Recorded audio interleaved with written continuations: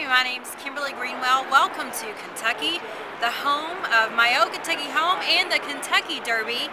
Come on down, we'll show you a great time, I promise.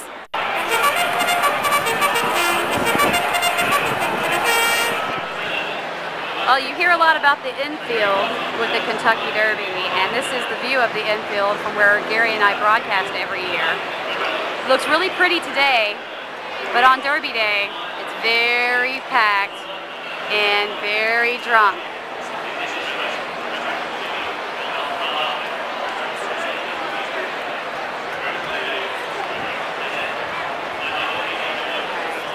The view from the media center of the historic twin spires of Churchill Downs. You'll notice there is a light fixture now. This is for night racing. It's a new thing and it's kind of controversial because some say it's going to allow the Kentucky Derby to become a nighttime, primetime event on television. And clearly that has some people upset. It's the parade before the Kentucky Oaks honoring cancer survivors. And as you'll see, there are hundreds of men and women in pink hats raising money and awareness about breast cancer and search for a cure with Susan G. Komen for the Cure, of course, from Illinois.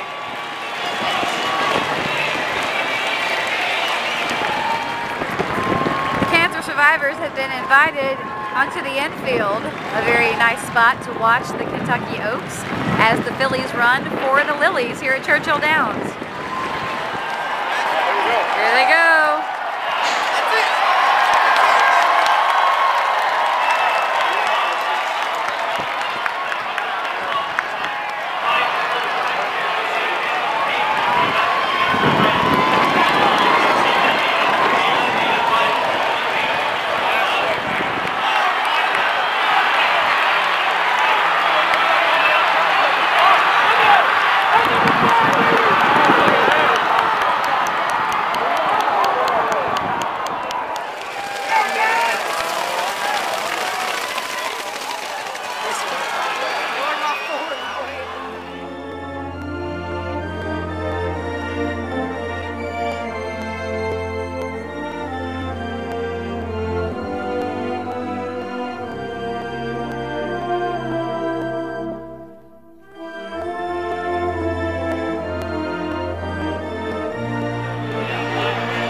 Come around the first turn. Rolling. The 136 Kentucky Derby. Has to be in last.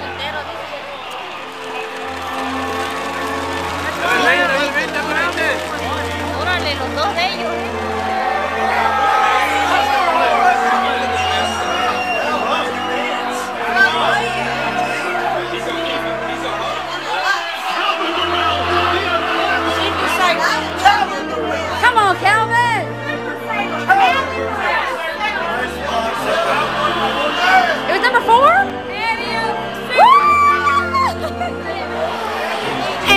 Official horse of the Kentucky Derby for the Beth Whisman Show just happens to win number four, Calvin Borel with Super Saver. We told you. I hope you took a bet at the OTB back in Bloomington Normal. Happy Derby to you from WJBC.